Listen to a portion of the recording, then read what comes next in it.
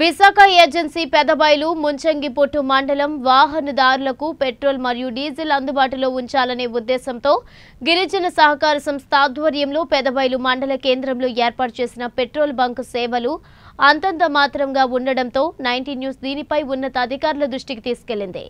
అయితే దీనిపై స్పందించిన ఉన్నతాధికారులు హుటాహుటిన తనిఖీలు చేపట్టారు. ముఖ్యంగా ఈ నెల పదిహేడవ తేదీన నైన్టీన్ న్యూస్ బృందం పరిశీలన చేయగా కొన్ని ఆసక్తికరమైన విషయాలు వెలుగులోకి వచ్చాయి. ఇందులో ప్రధానంగా కరెంటు లేని సమయంలో జనరేటర్ వినియోగించకపోవడం దీంతో వాహనదారులంతా గంటలు తరబడి బారులు తీసి ఉండటం వంటివి నైన్టీన్ న్యూస్ కెమెరాకి చిక్కాయి.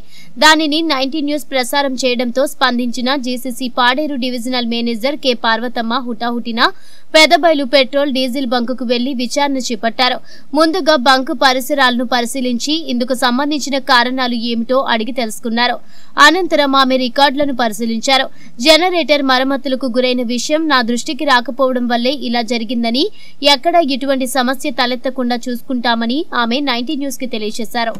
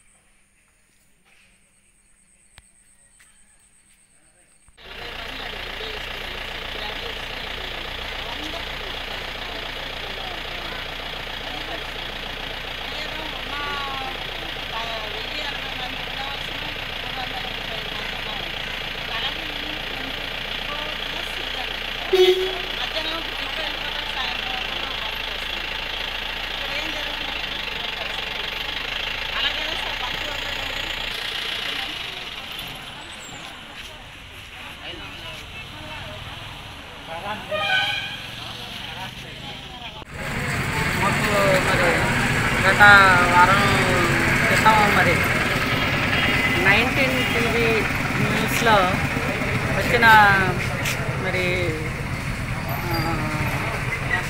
సమాచారానికి సంబంధించి మేము ఈరోజు మా అధికారులు ఆదేశాల మేరకు ఈ పెదబాయిల బంకు మరి విజిట్ చేయడానికి కోసము రావడం జరిగింది. అలాగే ఈ నైన్టీన్ టీవీకి సంబంధించి మరి మొన్న సిపిఎం లీడరు మన శనిబాబు గారు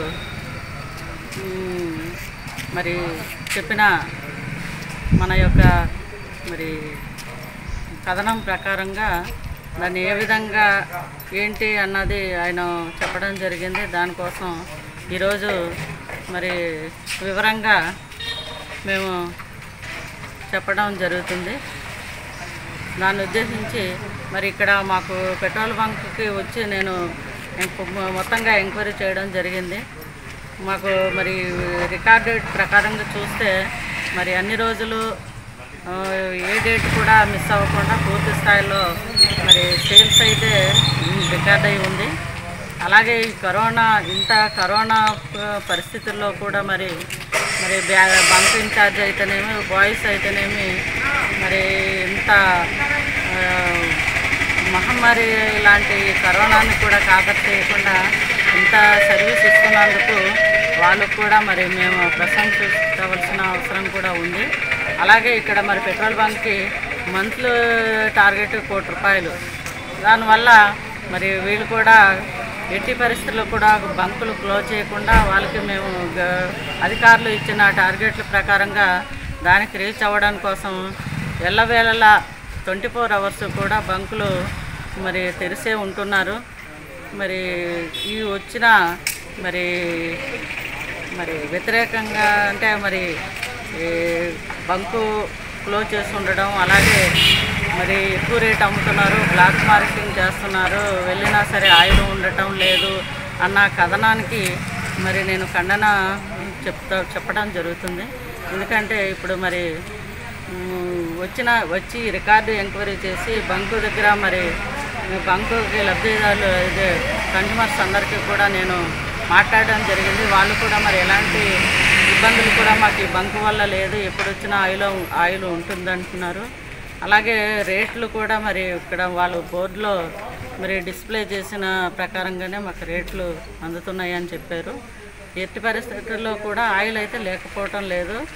ఒకప్పుడు కరెంటు లేనప్పుడు జనరేటరు వేయడానికైతే కొంచెం బాయ్స్ ఇబ్బంది పడేవాళ్ళు. ఎందుకంటే ఎప్పటికప్పుడు అది రిపేర్లు వస్తుంది అనేసి కంప్లైంట్ అయితే ఉంది జనరేటర్. అది నేను మరి మేనేజర్ గారికి మరి సీరియస్గా ఇన్స్ట్రక్షన్స్ ఇవ్వడం జరిగింది. అది ఆల్రెడీ వాళ్ళు మెకానిక్ కూడా వాళ్ళు మరి చెప్పడం జరిగింది. మెకానిక్ ఏదంటే టూ వీక్స్ వరుసగా వర్షాలు రావడం వల్ల మెకా మెకానిక్ రావడానికి కూడా కొన్ని డ్రాగింగ్ చేయడం జరుగుతుంది. ఏది ఏమైనా టూ టూ త్రీ డేస్లో మరి జనరేటర్ కూడా రెట్టిఫై చేయడం జరుగుతుంది. కాబట్టి ఈ వచ్చిన మరి ఈ బ్లాక్ మార్కెటింగ్ అలాగే ఆయిల్ ఉండదు అన్న దానికి మరి పూర్తిగా నేను ఖండిస్తూ మరి ఇక నుంచి ఎట్టి ఇబ్బంది ఎలాంటి ఇబ్బందులు కూడా రాకుండా మరి ఇళ్ళవేళలా ఆయిల్ ఉంటుంది. అలాగే జనరేటర్ కూడా పూర్తి స్థాయిలో మరి రిపేర్లు చేయించి పెట్టి మరి ఇక్కడ వచ్చే లబ్ధిదారు కన్జ్యూమర్స్ ఎవరికి కూడా మరి ఇబ్బంది లేకుండా చూసుకునే బాధ్యత మా మీద ఉంది. కాబట్టి ఆ విధంగా ఎట్టి పరిస్థితుల్లో ఇబ్బంది లేకుండా మేము చూసుకుంటామనేసి మరి మా యొక్క వివరణ ఇస్తున్నాను.